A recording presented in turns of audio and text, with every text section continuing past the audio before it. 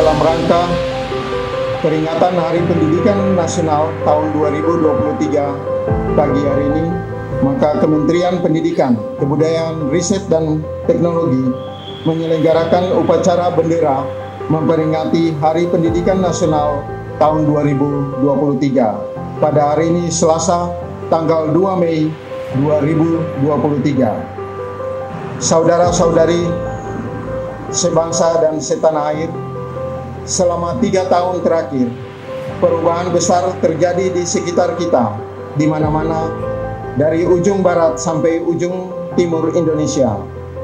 Sebanyak 24 episode Merdeka Belajar yang sudah diluncurkan membawa kita semakin dekat dengan cita-cita luhur Ki Hajar Dewantara, yaitu pendidikan yang menuntun bakat, minat, potensi peserta didik agar mampu mencapai keselamatan dan kebahagiaan yang setinggi-tingginya sebagai seorang manusia dan sebagai anggota masyarakat. Layar yang telah sudah kita kembentangkan jangan sampai terlipat lagi. Kita semua, para pendidik dan tenaga kependidikan, seniman, dan pelaku budaya, juga beserta didik di seluruh penjuru Nusantara adalah kapten dari kapal besar yang bernama Indonesia ini.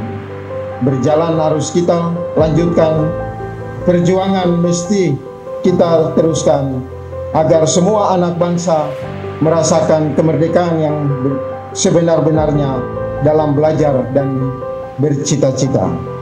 Oleh karena itu, mari kita semarakan hari ini dengan semangat untuk meneruskan per perwujudan Merdeka Belajar, mendidik generasi pelajar Pancasila yang cerdas berkarakter dan membawa Indonesia melompat ke masa depan dengan pendidikan yang memerdekakan.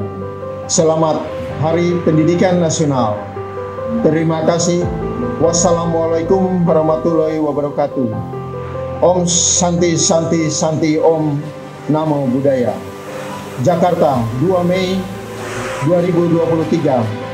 Menteri Pendidikan, Kebudayaan, Riset dan Teknologi Nadiem Anwar Makarim.